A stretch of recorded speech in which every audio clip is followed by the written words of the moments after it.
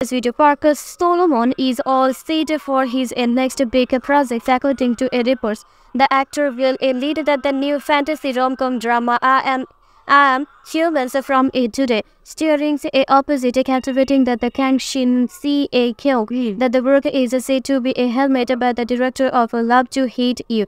On July 10, Sport TV a news reported that a purple Solomon has been accused as that the male lead in that the upcoming fantasy romance drama I Am Human from it today. Thanks for watching.